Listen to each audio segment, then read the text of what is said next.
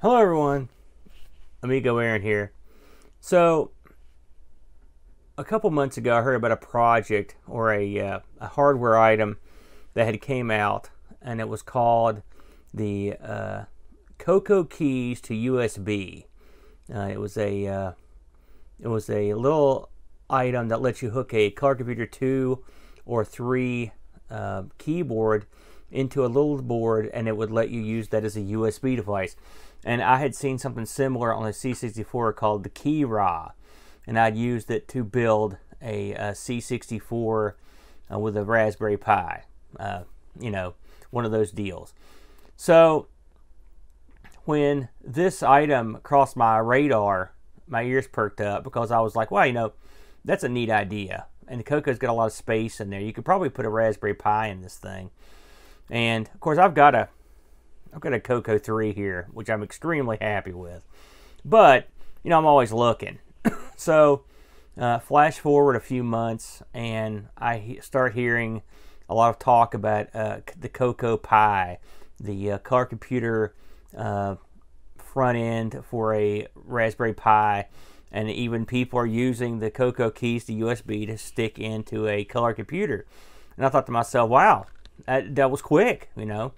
Uh, having having done that project with the C64, uh, it was just that uh, it works, but uh, and it worked okay. And it worked, it went well, except for the fact that the Keyrah got lost in the mail for like eight months. Uh, but at the end of the day, I didn't use it that much. And part of the reason I didn't like it was I didn't. I just don't like dealing with Linux. Hey, I'm just not. I'm not that well skilled in a Linux environment, and to dip your toe in that pool, uh, you need uh, a good Linux skills. You can burn, you can knock off an SD card, stick it in a Raspberry Pi, and be pleased as punch. But if you're like me and you just can't leave well enough alone, and you want to add stuff or make changes or, or generally screw around with stuff, it makes it extremely difficult. Plus, I don't have any Linux computers in the house, and I had trouble, um, you know, putting data back and forth between. It was just a hassle. It's, I didn't like it. Um, now that's nothing bad against the uh, against the Raspberry Pi. It's just that uh, I'm a dumb guy. What can I say? So uh, I didn't have any thoughts of putting a Raspberry Pi in a Coco, uh, despite the fact that I do have a Coco uh, box over here, Coco 2, with a bad motherboard. And I thought to myself, what could I do to uh, to? I mean, I guess I could get a Coco, a, a Raspberry Pi, and I changed my mind because I remembered that sitting behind a TV in my family room was uh, a item called an Atomic Pi. Now, the Atomic Pi was a, a bizarre uh, project that was out uh, last year. Uh, it was a it was kickstarted at first, but then they ended up selling these things, and what they were were they were little uh, they were little boards. They're bigger than a they're bigger than a Raspberry Pi basically because the heat sink on them yay big. You'll see it. Uh, but uh, the uh, the one thing about these was they had the ability to run Windows and Linux. They could run both. And I thought to myself, you know, I could take this Atomic Pi and stick it in the Coco case if it would fit, and use the US uh, Coco keys to USB, and then you got something that I could actually get behind because I could actually do some work on it and enjoy myself as opposed to just continuously struggling and banging my head against the wall, trying to use uh, the the uh, the admittedly brilliant front end for the for the uh, all the uh, RetroPie stuff, uh, which I you know like I said I've got one. I love it, but it just it was I found it difficult to work on, and so thus began the task of trying to figure out how to do it.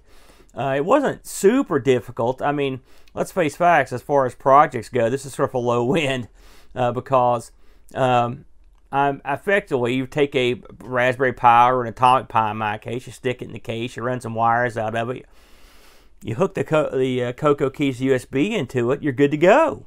I mean, if, that's not that tough. Uh, and then you could make it look nice or whatever, which I didn't.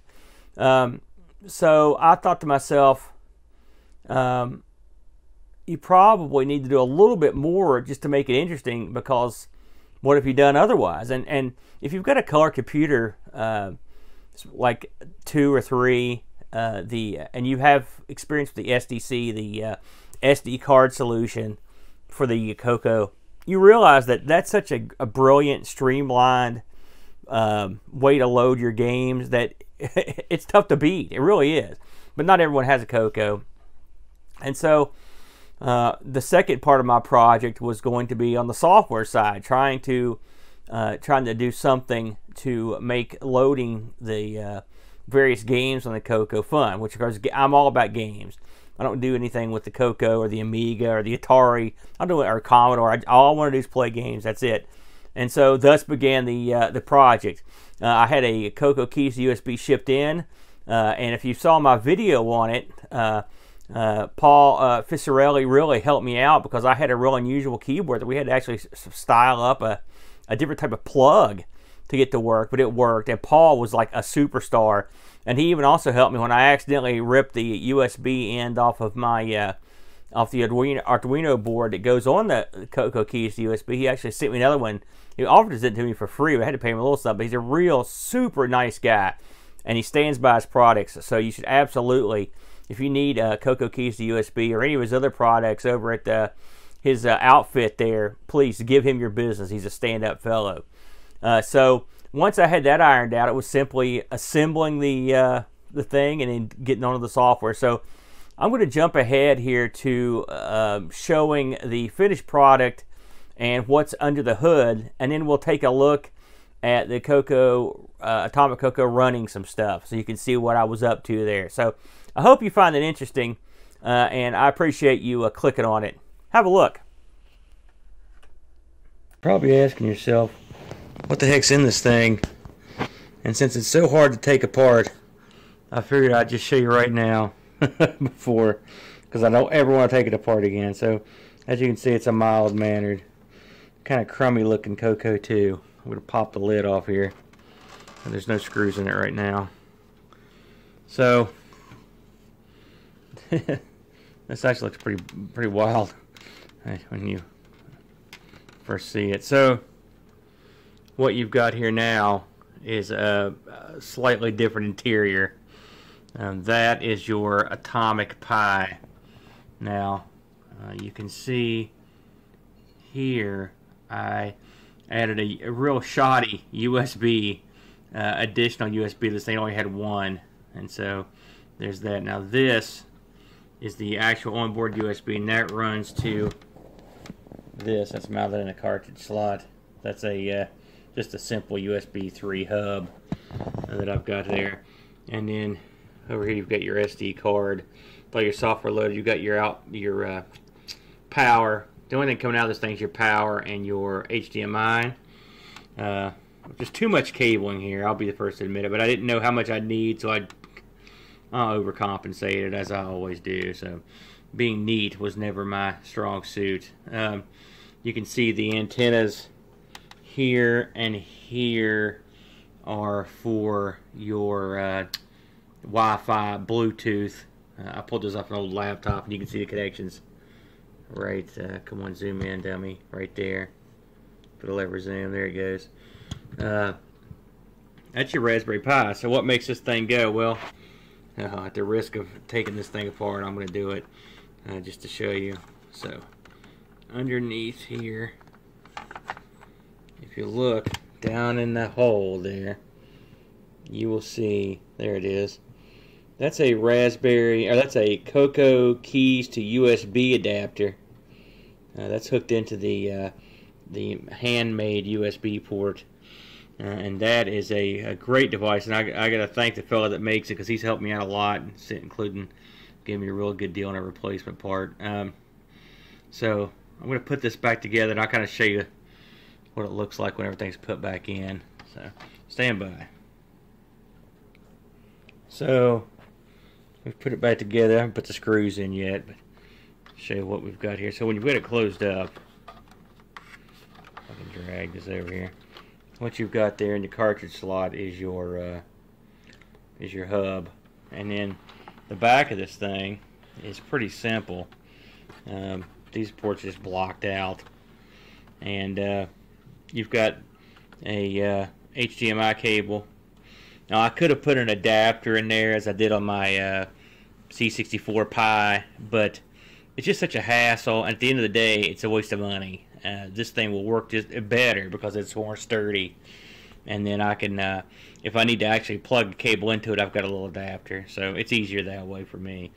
And then again, same thing with the power. I could have put a, I could have rigged it up, but it's easier just to have a power cable. And the, uh, this is the power cable that we use with the Atomic Pi. Top dollar when they say power adapter written on there for ease of use. This is just uh, got this off Amazon. And then the one thing I added uh, in the, my downtime waiting for my part to come in was this uh, right here, which is a which is a momentary switch, just to uh, turn it on and off. That's all there is to it. I mean, it, when you plug it in, it automatically comes on, but this way you can turn it on and off whenever it's been activated. So it, it's it's a help. That's it. There is your Atomic Coco, and we will fire this thing up and see what you think. So, uh, you've seen uh, what's in the Atomic Coco. Let's talk about a few other little items here. Uh, I had a, uh, a wired Xbox 360 uh, stick hooked up to it, which I really liked, but it went bad. So I'm using now a Bluetooth PlayStation 4 stick. These are good sticks. Um, that little light I stuck in there just so I know it was on. and these are just little little lights, different colored lights that just stick in the USB port. That's all they do. they just light up. So I picked one up there. So I've booted this thing up to uh, uh, to a uh, to its main screen here. Now this is Windows 10. Uh, it looks it looks strange, but it, it is Windows 10. Uh, it's a very stripped down version of it. The, uh, the the Atomic Pi comes with I think it's 16 gigs of onboard memory, not enough for Windows. Uh, but uh, if you strip down and prune and cajole and do every little trick in the book, uh, you can fit Windows 10 onto a 16 gig drive. It doesn't like it, and you remove. I'm talking you remove everything and then you make everything not save on the on the main drive to save space. Uh, so I managed to smash everything I needed on there, and still have two gigs left over, if you can believe it, uh, for a swap. And so that's the main drive. Then I've got a SD card in this, and also a USB drive which houses the uh, the CoinOps files, uh, which are what I'm using. CoinOps Next is the front end I'm using. I've got uh, a, a, decent amount of experience with it, and uh, I always wanted to get a nice front end. It's funny when we were taught when I was on Coco Talk a while back, and we talked about having new people join the Coco family, and I talked to Stevie about the uh, emulating the SDC, uh, the tremendous front end and the uh, hardware piece that makes it real easy to navigate the Coco without having to actually have any experience or do anything hard. And I thought, well, that's where I sort of had the idea to uh, to to do this. I mean, it had been kicking around in my head, but that was the that was the final push I needed to get it going. So just to make this look cleaner and kind of neat, I just I stripped everything out of the desktop here.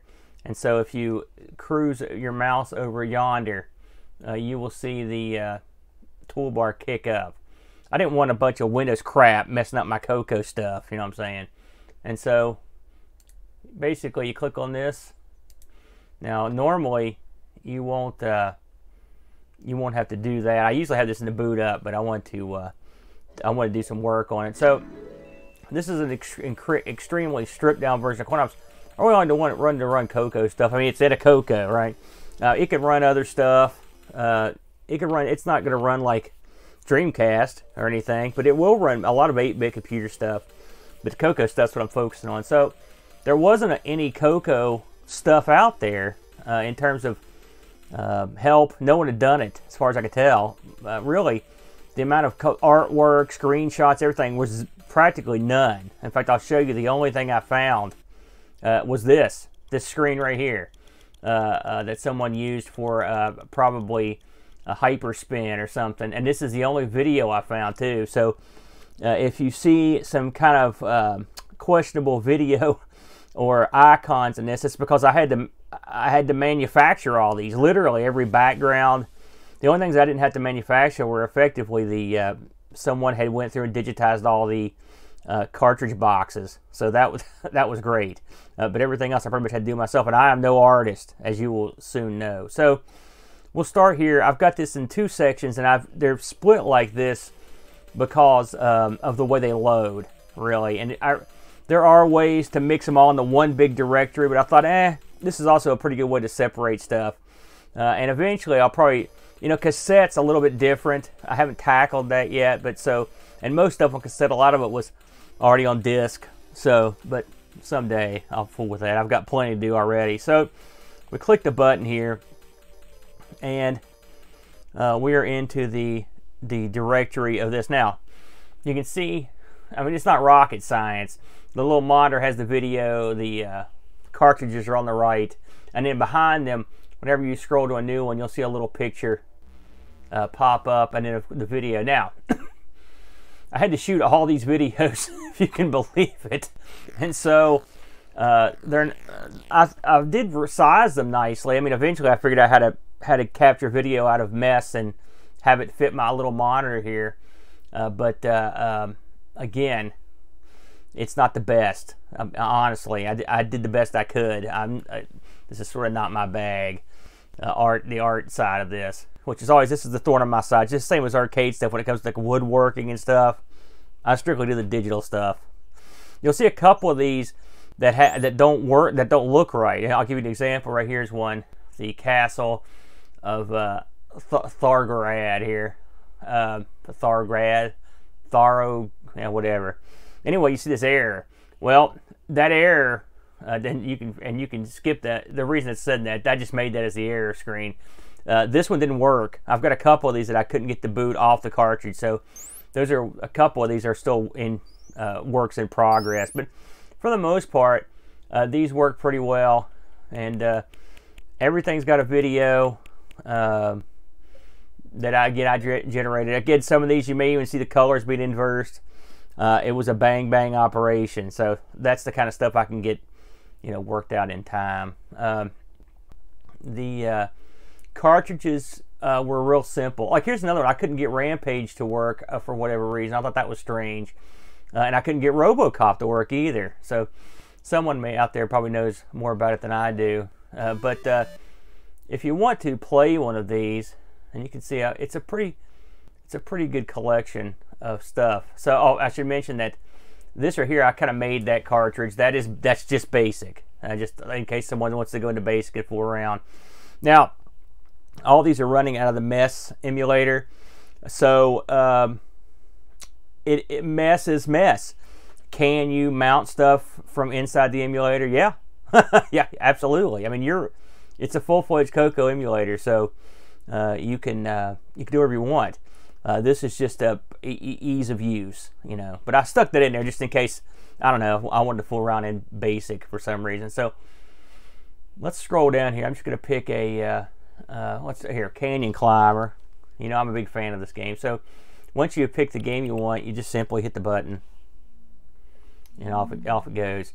Now the good thing about the cartridge is that they just pretty much instantly pop up. There we go. And then now uh, you are in mess. Uh, and if you watch Stevie's video on um, fooling around in MAME, mess is the same. Um, it can be an annoying. And um, if I were to, to distribute this package, people would have to sit at their controllers in in mess. There's nothing I can do about that. You can't you know sort of universally set them. You have to because people want their things their own way. But I can show you what I've done. So PlayStation 4 controller, pretty standard stuff. These two analog sticks actually have buttons if you push them down. And so the way MESS works is uh, to do anything really in the emulator that wouldn't that you wouldn't normally do in the computer, you have to basically unlock the keyboard from the emulator, which is I've, if I push this button, that happens. You saw there it just said it was unlocked, and then if I push the other button, this it brings up your tab menu.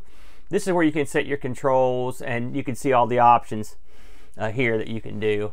Now I've already set this thing up so it should be good to go. Now um, I'm to close that. I'm to put the full mode back on. So I've got mine set up here uh, as you would expect. And it just it plays just like you would expect Canyon Climber to play on an emulator. Uh, just as infuriating as it normally would be. Uh, but better than the Atari version. So uh, you can mo mosey along. Uh, you can map this stuff however you want. You can put pause on here. You can put ones. One thing I, you know, my goal in this was sort of to make it so you didn't have to use a keyboard. And for some games you don't. But a lot of games ask for quirky stuff, just out of the blue. You got to hit clear. You got to hit one. You got to hit space bar something. And to I'd have to go through each game and set them up specifically for that game, which I haven't done. Uh, you could do it, and I may do it one of these days, but I haven't done it yet because I've tried to get quantity, not necessarily have everything tailored. Uh, of course, I've already got the keyboard right beside me, so if you have the if you have the computer there or a keyboard, you're golden. You don't have to worry about it. So anyway, when I want to exit a game, of course, you can hit escape, but you can also do this. So I've I've got this set up to where if I hit uh, again, I'm unlocking the joy the keyboard there to partial status, and I've, there's there's a start and a back button. If I hit those both at the same time, it should not it should take me back out uh, to the emulator, and then we can go from there. And voila! Now, so and that's the way all the cartridges pretty much work. Uh, it's pretty standard stuff. So let's go over to the discs. The discs were a whole different kettle of fish uh, because uh, you have to load the disc, load the game. So this is where I was in a unique position to have a working Coco right beside me to uh, because sure we've got all these discs but then you have to know what to load off the discs. And so I had the Coco here to look to see what was on the disc so I could set it up. Uh, it's uh, it, you you could either mount every one of these discs in emulation write down what the boot uh, file is then come back or you could do it the way I've done it which is infinitely quicker. so it's one of the advantages. Now I, have done about 25 disc games. It's funny. I, I, sat down and made a list of all the games I wanted to do, and I'm not even probably a third of the way through the list in terms of the disc. So now, so many. You can see these. We of course we don't.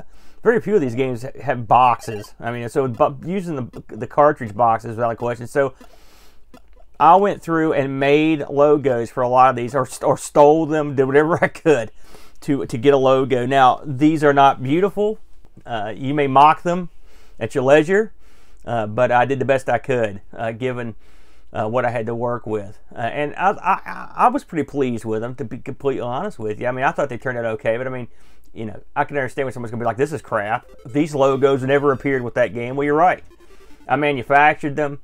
I pulled them some of the graphics like this one. I pulled out of the game and sort of colorized it. I just you know, you know that one had nothing. Some of these you know are like Crystal Castle spelled wrong. Uh, good luck. So I just basically made up some of the logos. So there you go. And all the videos I pulled, I didn't necessarily pull the best videos for all this stuff because I should have pulled in-game videos. Every once in a while I have one where the game is booting and it, it doesn't really get into the gameplay unless you sit there for a minute, which is, you know, again, those are little tidbits I could go back and and work out. But I mean, for the most part, I'm pretty happy. So the way these work is pretty funny. Uh, first, you pick the game you want to play. Uh, let's play. Uh, let's play uh, this one, Anawana. We just played this on uh, Coco Talk a few weeks ago, and I, I always thought this was a neat game. So when you're ready to load one of these games, you load it just like the cartridges, but it does a lot more intricate dance here. So it comes up just like you'd expect. And then it will type out the command to run, and it will it's and you can hear that it simulates a disk, and then it will load the game. Um, once the game's loaded, effectively it works just like a uh, a cartridge game. I mean, there's not any there's not any extra steps or whatever. Uh, and there you go. And then theoretically, you hit the button and play it. Now, um, something I wanted to mention is that some of these games, as we all know, require uh, you to have a, a, a, a, um, they don't necessarily differentiate between the joysticks. It's infuriating. And so what I ended up doing was, I'm going to back out of this. I'll show you one of these because I was just playing it. Anyway, escape the same way. You just, uh, you know. So, um, I was playing um, Buzzard Bait, and it has the joystick on the on, it uses the other joystick. A lot of games do that. There's no, as anyone that has a Coco knows, there's no set uh, port. They just sort of randomly picked a port. I don't know. I don't know why they did it that way. You know, do you think someone would have? Boy, all it takes is you know to someone to step up, but they didn't do it. Nevertheless, uh, this game uses uh, the the a diff the like the second port or the right port. It uses a different port than the game I was playing before this came on. All right, that's all I can tell you. And so what I did was um, since I didn't have two, first of all, if you have two joysticks, doesn't matter. But I would, for testing purposes, and this is one thing you can do with MESS that's kind of cool is uh, for this game. Uh, well, let me zoom in here and I'll show you what I mean. So most games I use these two items as the controls and these as the buttons. For games that require the other stick, I actually use this as the control and this is the button. So you can actually have both controls on one stick without having to swap out sticks. It's lazy. Uh, it, it's not perfect, but it does a decent. It's a decent job, and then you can that way you don't have to worry about uh, you know you don't have to worry about uh, messing around here. So here's me playing when you can see I'm playing with the, the other stick. Uh, so if I was ambidextrous, we'd be laughing. But uh, there you go. So it's something you can do. MESS allows you to all sorts of interesting uh, button combinations and, and options uh, including the ability. Something else I like about this is the fact that, of course, these are analog joysticks. And so, so many Coco games uh, like those analog sticks, and they do. Uh, you know, you're gonna think to yourself, "Oh, this this guy's talking out his butt." No, they do a good job. These these do a pretty good job of simulating the Black Beauties uh, uh, for those sorts of games. So, something. I, I mean, they're true analog too. So you're you're getting your analog joysticks for the Coco. So you've got the best of both worlds all in one gamepad. Now, am I saying you need to use the, one of these uh, to uh, play Coco? Absolutely not. And of course, this thing you could there are, there are a, a, a plethora of, of USB to Atari style joystick adapters for your PC, and you can use any one of them. You know, a lot of this stuff is just laziness or just uh, trying to use the joystick for as much as I can and not have to use the keyboard. But uh, the keyboard is perfectly fine. Uh, thanks to the, to the Coco uh, uh, keys to USB, it does a great job.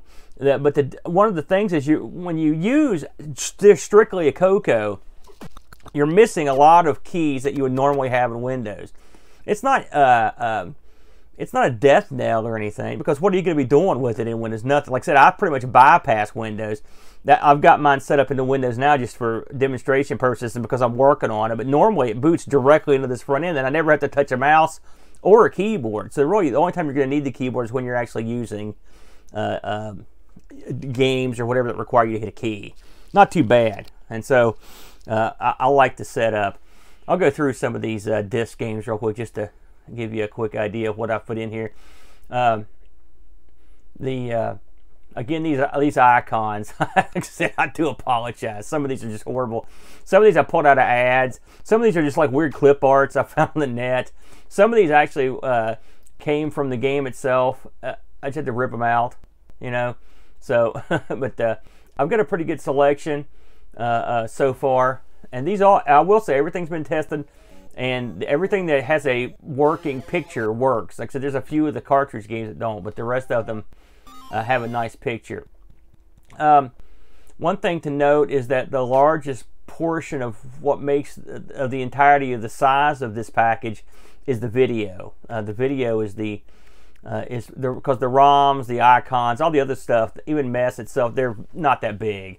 So I'd say this whole package here, uh, if if you boiled it down, you'd probably be in for I don't know. I'm trying to think maybe you know, five gigs or something like that. And it could be probably pared down even further because I've got some a lot of extra stuff in my MESS directory that could get pruned out. So maybe, I mean, really, you could get this down. I said depending on how much how big the video is, but the video is the largest chunk of it. Um, but that makes it fun. And uh, in today's age. I mean, you got to think I've got a I've got a CoinOps build that's uh, almost one and a half terabytes in size, uh, and that's that was before I added this stuff. So, uh, you know, you can get a, a, massive collection if you're so inclined. But if you just want to play Coco stuff, it's a, it's pretty much a one and done. And really, adding this stuff is not that difficult uh, once you understand how CoinOps works. Uh, another thing is you can always get packs, uh, which basically will just add new games, which I don't know if people want if, if anyone out there might thinks they might want to have a copy of this or whatever. I mean, I could I could zip it up and upload it somewhere, uh, but uh, I hadn't planned on doing it. But somebody thinks they might like it, you know, uh, uh I could do it. So that's you know whatever. Uh, but uh, I will say I I, I like the I like the Atomic Pi in the Coco. It does a good job. Um, it doesn't get hot. I was worried how it would get really hot. It doesn't, uh, because you got to think it's really running a uh, it's running a low load. Frankly, sure Windows is in there, but it's pretty much idle. And I've got all the background services turned off too, so it's really running very little uh, in there. Uh, the the Coco keys to USB works great. It's perfect for this project, and uh, uh, of course you've got HDMI coming out of this thing, which is what I'm using to capture with and HDMI looks it looks real fine, 1080p. You know, uh, uh, so it looks real good. Um, if you can get your hands on an Atomic Pi, they're only 35 bucks. Last time I checked on uh, uh, Amazon, and they just have that unique distinction of being able to run Windows. And uh, man, if anybody out there wants to get them one, um, you know, I'd be more than happy to uh, you know, knock off a copy of my uh, SD or whatever. We can, we can work something out. Uh, I don't know anyone else that has done Coco stuff, like front end stuff. So this is probably, this is probably in terms of MS DOS, or listen to me, I'm so old. In terms of Windows, this is probably, I'm probably the only person that's done it that I know of anyway. Uh, so if uh, you're into it, or if you just want some pointers, uh, or if you just want some art. I don't know why you'd want my stuff, but if you want some, you know, I, I'd be happy, I'd be willing to help anybody out that wants it. So that's pretty much the long and short of it, y'all. Um, I uh, hope you found it interesting, and uh, like I said, if I, if there's enough interest, I might try to boil this pack down and, and release it, but. I don't know if uh, anyone gives a crap, to, be, to be honest with you. But I love the Coco. And so I had to do I had to do something. I should mention, by the way, in case anyone thinks I'm an arrogant jerk, which is true. Uh, but uh, if you uh, if you look at this, uh, if you look at the opening little video here, it's our old intro, the Coco Show. I assure you that was not for um, arrogant purposes. I just could not find anything to put there that was Coco that was colorful and had music and and, and and had Coco stuff in it. So I just stuck that in. Just like I couldn't find anything else to put for the disc, so I stuck this in here. Uh, and thanks to whoever made that. Uh, but uh, so and, uh, these videos are easily replaceable, and you're not going to break my heart. Just put it that way. So anyway, um, that's all I got. Uh, I will see you guys next time for another project. Until then, adios. Wrong mouse. adios.